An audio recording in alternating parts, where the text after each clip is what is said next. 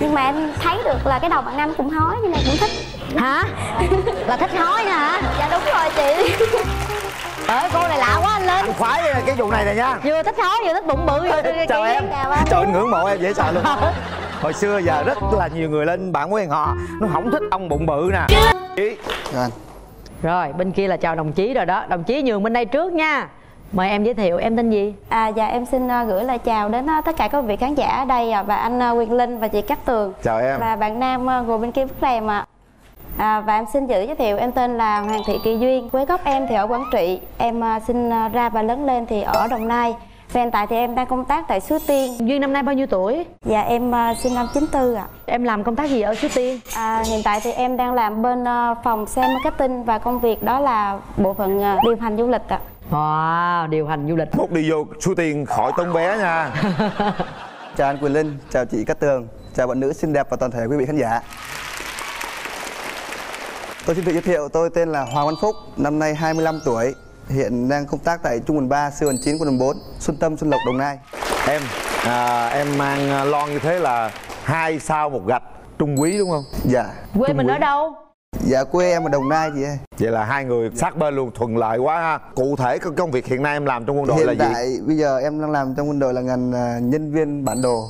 là coi bản đồ hay sao Giữa giữa năm và cuối năm thì mình sẽ chấp ghép các bản đồ và vẽ lên đấy các hình thức chiến đấu như đấy. à, tức là À. vạch ra kế hoạch chiến đấu trên bản đồ đúng không Dạ. vậy thì bản đồ đồng nai em rành không Dạ thì cả nước luôn. vậy là tìm nhà bằng kia hơi dễ đúng không? Bữa nay về em em em chấm cái tọa độ em vẽ cái tọa độ suối tiên rõ rõ lên giùm chị nha. Dạ. rồi duyên em giới thiệu một xíu về bản thân mình điểm mạnh điểm yếu của em là gì?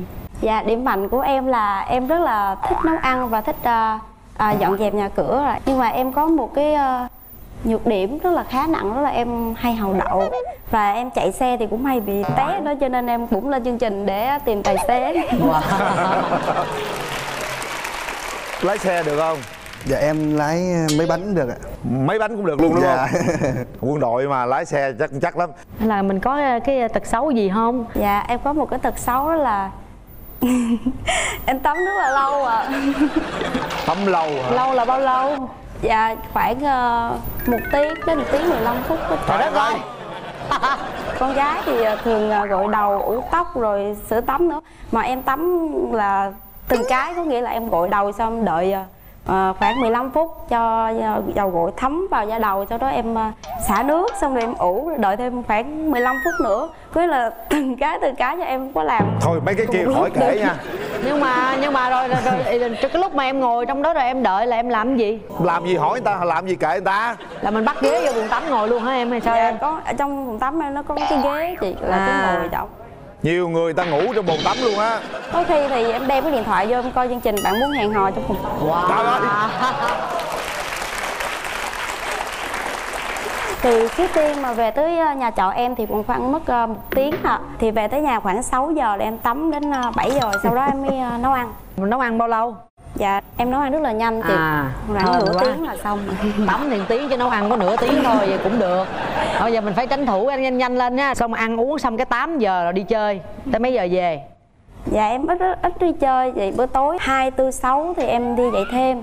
Còn ờ, những ngày bình thường thì em ờ, tới trung tâm em dạy làm bánh. Ồ em đi dạy thêm cái gì? Hai thứ Dạ sáu em dạy thêm môn hóa ạ. Lớp mấy Dạ em dạy hóa cấp 2 à dạy hóa cấp 2 Giỏi trời cô nhỉ. giáo này giỏi quá anh lên đây anh kêu ờ, bữa nào ờ, dạy anh tắm tiếng mấy đồng hồ đó tắm tiếng mà chờ nổi không Em đi chỗ khác tắm.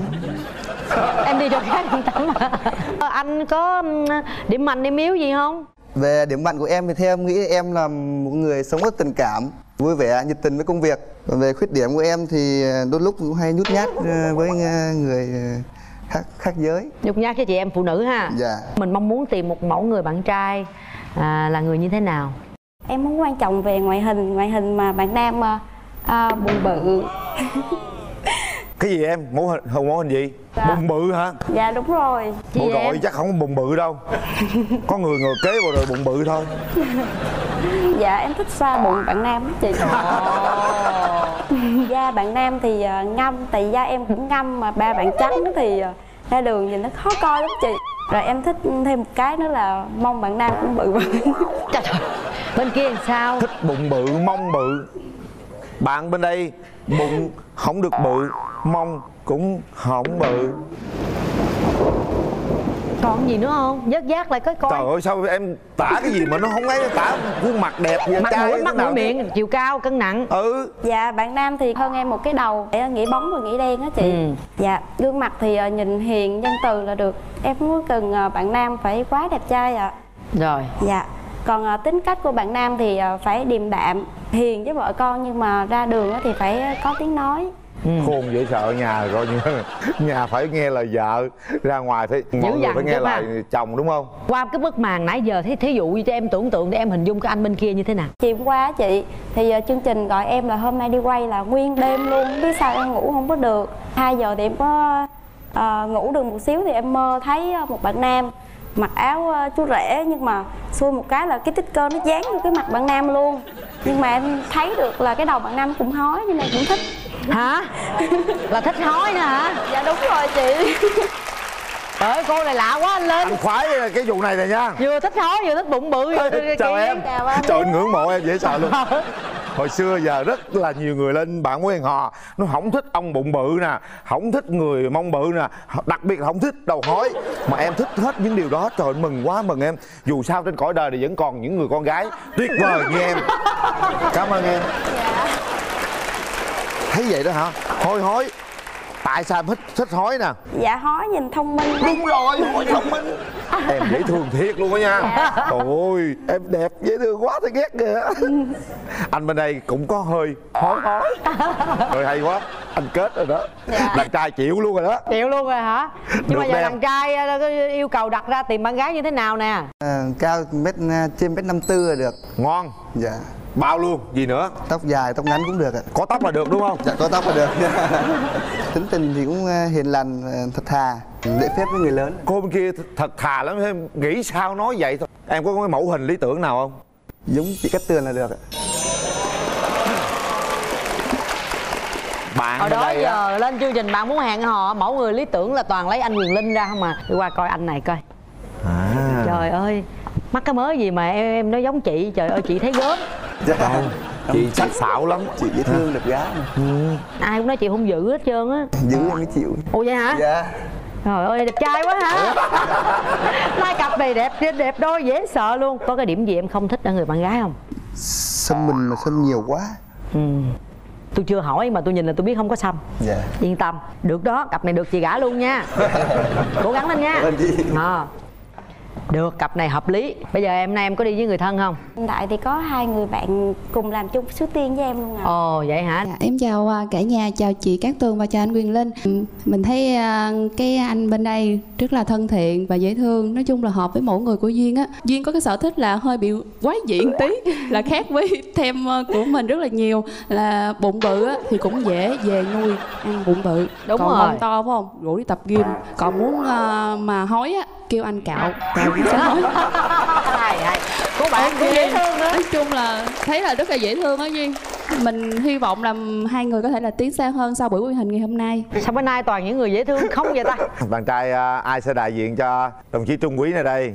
Chào anh Quỳnh Linh, xin chào bạn đồng liên Cát Tường. Dạ chào anh. Chào ờ, Âm Duyên, chào tất cả khán phòng Và đặc biệt là hai bạn của Âm Duyên Muốn nói với lại ờ, bạn Duyên trước. Bạn không biết đi, đi xe thì yên tâm. Đấy. Phúc nó đi xe thứ nhất là cũng cứng. Cái thứ hai nữa là vì cái đặc thù công việc Nó cần cái tính cụ thể và tỉ mỉ Nên ờ, không lo bị té. Không lo cái thứ hai nữa là về trình độ năng lực phẩm chất đạo đức sức khỏe. Thì đối với mỗi một người quân nhân nói chung ấy và sĩ quan nói riêng ấy, thì đều bảo đảm. Cái vấn đề thứ ba nữa đối với phúc ấy nói cho duyên thì duyên biết luôn vì đặc thù đơn vị huấn luyện sẵn sàng chiến đấu nên ờ, không có phụ nữ không có con gái ở trong đơn vị. 100% là nam 21 giờ là không được ra ngoài. Người ra yên tâm mà cái vấn đề đó là rất bảo đảm an toàn. Còn à, anh à, muốn nói với phúc thì cô bé bên này nếu mà anh ấy anh bấm nút ngay vào luôn. Phải quyết thắng. Đúng như truyền thống của đơn vị ấy đã ra quân là phải chiến thắng hay quá. Đó bạn bây giờ cái thời khắc quan trọng là hai bạn cảm nhận nhau như thế nào khi mà cái màn kéo lên? Chàng trung quý tên phúc và cô giáo tên duyên.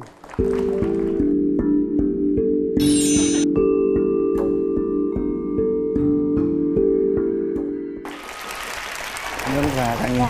Cảm ơn ừ. Lần đầu tiên gặp em trên đây thì thấy em là một người là cũng xinh xắn, dễ thương, hiền. Ừ, anh nghĩ là chắc là chúng ta thuộc về nhau rồi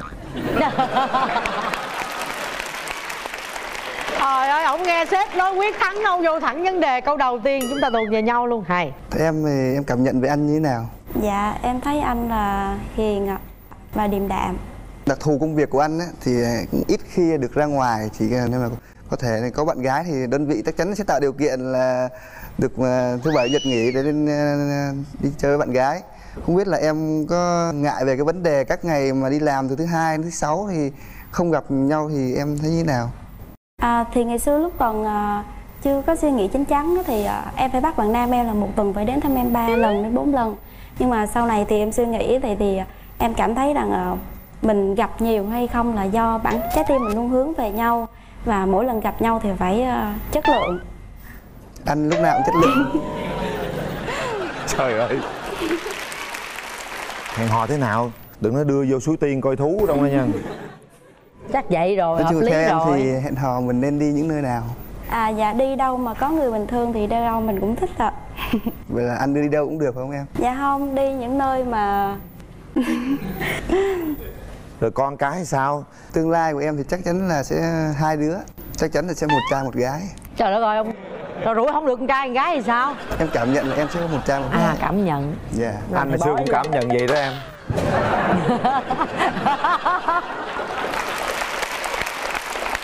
Bây giờ mỗi người nói về cái sự suy nghĩ của mình những cái sự rung động của mình từ nãy giờ. Đồng chí trung quý phúc. Mà em như vậy lại nói chung là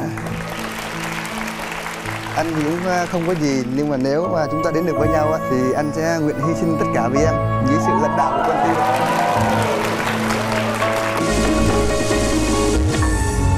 hãy suy nghĩ thật kỹ lắng Suy nghĩ thật nghe kỹ nha. nhịp đập của trái tim mình. Ở đây không ai ép buộc chúng ta cả. Ba. Hai. Ba. Hết thời gian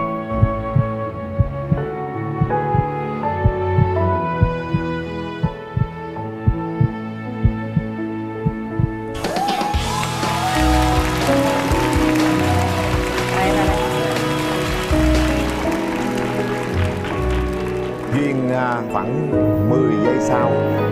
Duyên với bóng em không thích ờ, quen quá nhiều người cho nên em thích ờ, quen ờ, một người rồi ờ, xác định ờ, là đến với nhau.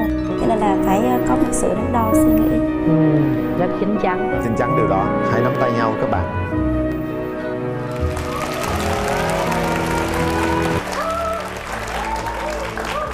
Chúng tôi sẽ gửi tặng các bạn những chiếc vé xem phim của hệ thống cùng rạp Cinebox.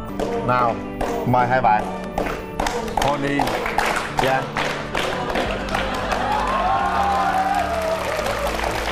Dễ thương quá. Nắm chặt rồi đưa lên cho mọi người thấy coi.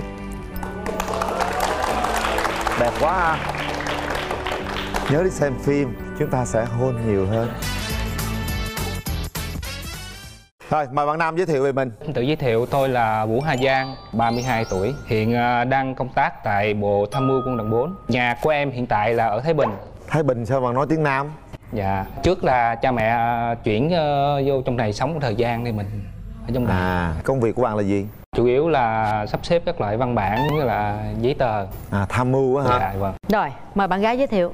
Dạ em xin chào chương trình, Mình chào chị Cát Tường, chào anh Quyền Linh. Em xin tự giới thiệu em tên là Lê Thị Kim Cương. Quê em ở Tiền Giang, sống và làm việc ở thành phố Hồ Chí Minh à. em làm công việc gì? Dạ em là dân nhà kế dân nhà kế là mình Dạ là kế toán à à dân kế toán dân nhà kế. Tôi tưởng thiết kế cái gì? Dân kế Dạ, toán. Bởi vì em là dân nhà kế mà năm nay em 30 tuổi nên mọi người cứ sợ là em ế. Nhưng mà em thì không phải là thế Bởi vì em đang chờ người tử tế để yêu. Đó. Được rồi nếu vậy thì mình à, tiến tới luôn. Mình à, giới thiệu điểm mạnh điểm yếu của mình luôn em. Dạ điểm mạnh của em á, là nói nhiều à, hoạt bát vui vẻ. Còn nhược điểm của em đó cũng chính là nói nhiều tại vì nói nhiều quá người ta nghe người ta cũng mệt chỉ có nói nhiều thôi? Dạ. Chứ ngoài ra không có khuyết điểm gì nữa hết? Khuyết điểm kia thì lâu lâu mới xuất hiện lần. Kia là cái gì? Nhiều khi ờ, hơi thất thường tí xíu mà một năm xuất hiện chừng một hai lần. Ví dụ ví dụ. Dạ nhiều khi đang ngồi vui vẻ đó thì tự nhiên thôi buồn quá cái buồn. Năm một hai lần thôi ha. Dạ năm một hai lần. Chứ hoài là phải đi á lúc mà em buồn em xả thì em làm gì để em xả em? Dạ em hét lên. Rồi không thôi em hét lên. Thôi hát đi. Hát làm sao hát làm sao làm thử hát đi. gì? coi như bây giờ tới cơ tới tới Giờ- giờ tới rồi cỡ. hát đi. Vậy em thì à, mọi người hay nói á, là em chỉ hát đúng mỗi tông á, là câu đầu tiên thôi. Còn những câu sau là em rất toàn tập. Rồi. Một người con gái đứng nghiêng nghiêng và non lá đường chiều bờ đê lối xưa kỷ niệm thiết tha. Lòng nàng sao lưu luyến quá. Hẹn hò một người đi xa. Mà năm tháng đã dần qua. Ai nhận xét em đúng ghê luôn á. Dạ ai cũng nhận xét vậy á chị. Cái này đâu phải rớt tông đâu. Đâu có tông nào đâu rớt. Không Mời sao cả. trai. Nè coi bên đây hát nè đàn trai. Hát. Ờ, trời ơi, rồi, dạ em hát. Anh sẽ vì em làm thơ tình ai. Anh sẽ góp mây xếp nhìn lâu đài. Đợi chờ một đêm trăng vàng tới. Đợi chờ người Em nói chung là bình thường thì cũng hay hát nhưng mà hát không được hay. ơi. Tới lúc uh, Ổng gung hát. gung gung là em chịu rồi. Gung gung không hát cái gì giống như đi ăn trộm vậy? Thăm dò thăm dò từng chữ từng chữ có trúng hai người này là đôi song ca sống thần á. Hai người kìa, hợp về hát rồi đó. Rồi điểm mạnh điểm yếu của em làm sao? Điểm mạnh của em á, là sống thật thà là mà rất ờ, chan hòa với đồng chí đồng đội. Còn khuyết điểm của em thì trong giao tiếp thì em thường là hơi kém, nhát đúng không nhát. Kiểu mình ít nói thì ờ, lúc mà giao tiếp với bạn gái nhiều khi câu chuyện cứ nói đi nói lại hoài thì bạn gái cũng chán. Chán mình thì ừ, tới giờ vẫn ế. có bao nhiêu bạn gái rồi Dạ. Nếu mà tính ờ, bạn gái thì chưa có nhưng mà em cũng ờ, tán được cũng ba bốn cô rồi. trời ơi ủa dữ bạn vậy gái hả chưa có mà tán được ba bốn cô là làm sao là có nghĩa là mình lại đó mình tán người ta thôi nhưng mà người ta chưa chịu đổ. À trời ơi. Được. Cũng có duyên không rồi còn mà em gái thì sao? Mình có bao nhiêu mối tình rồi em? Dạ em có một mối tình à, cách đây cũng 6 năm. Dạ lúc đó là bạn đó theo đuổi em. Sau 2 năm quen thì bạn đó cũng về quê âm thầm cưới vợ luôn. Hay quá Coi như âm thầm đến âm thầm đi vậy. Rồi 6 năm nay là ở không? Không mua quen ai hết. Dạ. Rồi em có đặt ra tiêu chuẩn người bạn trai của mình là như thế nào không? Thì à, bạn trai của em à, người miền Nam Tính tình hiền lành Hình tượng quá là giống như kiểu à, à, anh à, Diễn viên Trương Minh Cường hay là Quỳnh Đông thì cũng được. Không biết anh bên đó làm sao ạ? Bên này ờ, cao sao dưới cười dữ vậy? Tướng ngon hơn Quỳnh Đông. Thiệt mà. Có cái điểm gì em không thích ở người đàn ông không? Keo kìa cọc tính nhưng mà phải người miền nam mới được hả? Tại trong suy nghĩ của em á người miền Bắc hay cọc tính lắm. Trời ơi à cái đó à. là em bị là quơ đũa cả nắm rồi ở đâu cũng có người này người nọ chứ. Dạ. À, em trai thì sao? Cái mẫu người lý tưởng của em là như thế nào? Chung thủy à, biết chăm lo gia đình. Em là người ít nói nên à, cũng thích bạn gái là người nói nhiều hơn. Về càm ràm mệt lắm rồi nha em.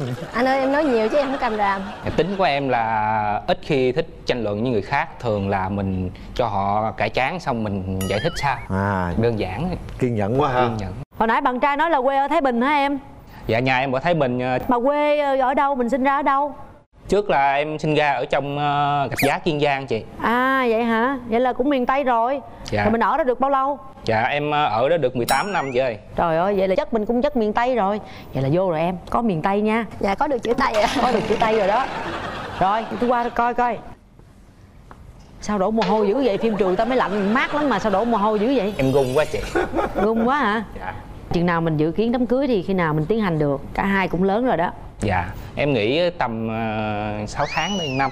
Và có yêu cầu gì ở nhà nhà gái nữa không? Em ờ, chỉ có yêu cầu là chỗ bạn gái làm nó, nó, nó gần chỗ mình làm. Nó có khi nó đi lại nó tiện. Em ở ngay chỗ nào? Dĩ an á chị? Chị hỏi coi bên đây ủa em ở đâu em? Dạ em làm ở bên Khánh Hội quận tư rồi quận tư? Sát bên dĩ an quận tư sát bên á. Sát đâu mà sát trời ơi anh quân nhân của tôi chưa gì anh sợ đi xa rồi là sao? Đi xa mới có được vợ chứ. Bây giờ quan trọng là mình thôi mình muốn ờ, người yêu mình ở gần mình hay như thế nào đó thì mình sẽ ờ, tính mình xin công việc cho người yêu mình cũng được mà đúng không? Được không? Dạ được. Anh qua anh xem coi ờ, bên đàn gái thế nào nha. Dạ chào anh. chào em gái. Bây giờ thí dụ lấy nhau về ở bình dương được không? Lên bình dương hơi xa. Đâu có xa đâu giờ không có đâu xa quan trọng là tình yêu đủ lớn thôi. Thế mà ở quận tư là em đang ở với ai? ở với bạn. Vậy đâu có nhà đó là phải nhà của em đâu. Giờ đi đâu không được, đi đâu có công việc tốt. Sự nghiệp ổn định thì ở thôi. Sao? Dạ nhiều khi nhìn cái nhìn đầu tiên là em theo ảnh đi luôn rồi sao? Đúng Hả? rồi. Cũng có thể vậy. Câu này hay nè. Em không thích đàn ông ở điểm gì? Cọc tính. Cọc tính? Không có. Không có. Bộ đội thì không có rồi. Lăng nhăng nữa anh lăng nhăng. Có ai đâu mà lăng. 21 giờ là không được ra rồi lăng nhăng với ai? Chỉ có lăn trên giường thôi chứ lăng nhăng với ai? Em thích đàn ông chia sẻ việc nhà chia sẻ việc nhà bộ đội giỏi lắm em. Nấu cơm nấu nước dọn dẹp giỏi lắm đừng lo. Anh này bên tham mưu nữa. Anh tới 4 năm sao gì đó để anh đếm thử coi sao anh coi sao nha. Bốn bốn sao. Là gì, chức gì? đại quý chuẩn bị lên thiếu tá đó em. Giới thiệu sơ sơ đàn trai của ảnh rồi Thôi, bây giờ mình để cho người thân có ý kiến đi Để mình tham khảo ý kiến người thân nha Hôm nay em đi với ai nè? dạ em đi với mấy anh chị đồng nghiệp bạn với là bạn Rồi Dạ, xin chào cả nhà, chào chị Cát Tường và anh Quyền Linh. Thì à, thứ nhất Kim Cương là anh này là anh ít nói, em nói nhiều, hai đứa về mà ở nhà thì khỏi cần à, mua tivi với cassette. À, vậy là ok rồi, anh này lúc nào anh cũng cho em phát biểu hết. Đó, cái thứ hai nữa là anh à, nhìn thấy là bạn này rất là chín chắn, thành ra là bên đàn gái là hoàn toàn ủng hộ. Đó Anh chúc em may mắn. Cảm ơn anh rồi bên à, đồng chí giang là sẽ mời ai đại diện đâu Chào à, anh Quyền Linh, chào à, chị Cát Tường, Dạ, chào, chào quý anh. vị và các bạn. À, tôi là Phan Thanh Huyền, à, cùng công tác với đồng chí Giang ở Bộ Tham mưu Quân đoàn 4. Về bản chất con người đồng chí Giang thì à, ít nói, nhưng mà việc gì cũng làm được. Trong cuộc sống thì vợ gầy, chồng béo, rồi vợ nói nhiều, chồng ít nói đó là bù trừ cho nhau bù trừ cho nhau. Bạn cứ yên tâm là đồng chí Giang là rất tuyệt vời. Rồi, kéo màn lên. Khéo màn.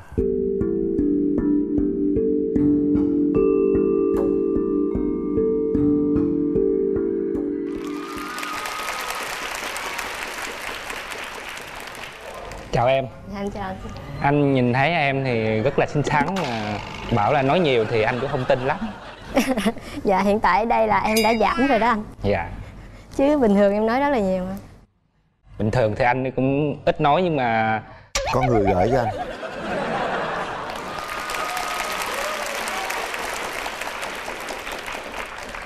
Bây giờ nếu hai người đồng ý quen nhau hẹn hò nhau chúng ta hẹn như thế nào với cái con đường từ quận tư đến bình dương đó? Ai sẽ tới ai? Hẹn vào lúc nào? Đâu thử mình đặt ra vấn đề thử xem. Dạ à, anh làm bên tham mưu anh tham mưu giùm em.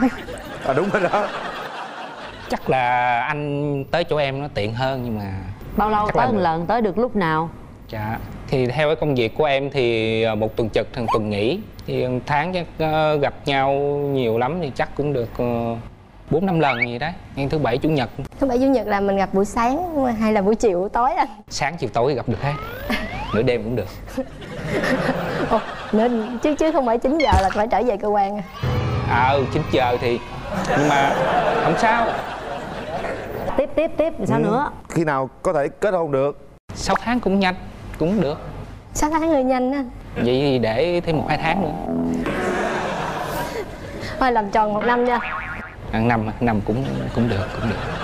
Ông cũng hiền quá, cái gì cũng được hết trơn. Anh nấu ăn giỏi không anh? Ờ anh anh nấu được. Ờ, không em cũng em cũng nấu được nhưng mà em nấu ăn không có ngon. Anh nấu ăn ngon không? Ờ, nhiều người cũng khen đó người thân hay là người ngoài anh? Chứ nhiều khi người thân ủng hộ tinh người thần thân cũng có mà người ngoài cũng có vậy là ngon rồi đó em.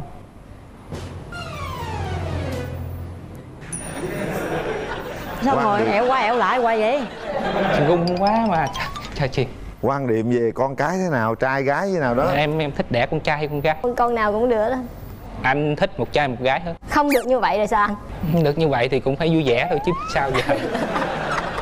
Vậy anh thích ờ, con giống ba hay giống mẹ? Anh thích con gái thì cao giống anh mà đẹp giống em còn con trai thì có thể khỏe như anh mà nói nhiều được như em là tốt.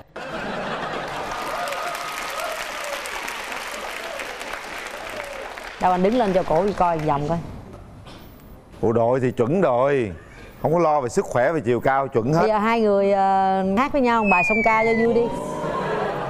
Em có cái được cái giống anh là, là hát cũng không được hay lắm. Không thì cái đó em thấy em giống thiệt hát được bài gì em? Bài trường sơn đông trường sơn tây đi anh. Ờ được. Bài đó anh cũng ca hoài ha. Rồi bài đã được rồi đó. Trường sơn đông trường sơn tây. Sơn Đông Trường Sơn Tây. Bên lặng gió bên lửa quay. Em giang tay em xòe tay. Chẳng thế nào mà xua tan mây Mà chẳng thế nào mà che anh được được à? Bè đồ cũng vô đúng không cả nhà.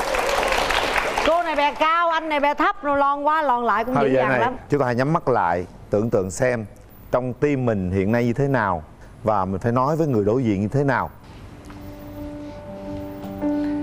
Em à, có đồng ý. Em à, có đồng ý hẹn hò với anh không?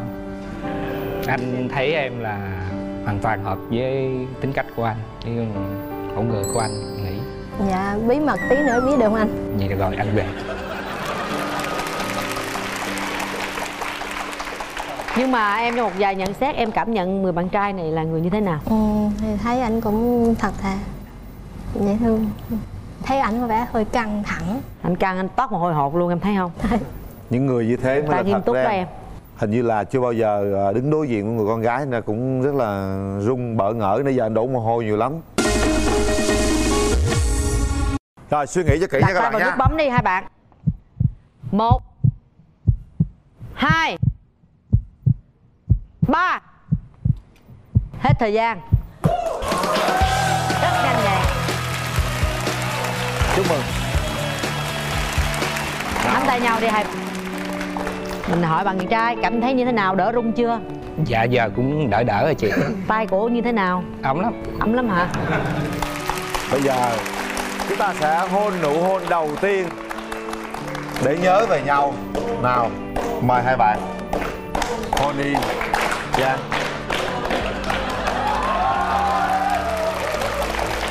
Dễ thương quá. Nắm chặt rồi đưa lên cho mọi người thấy coi.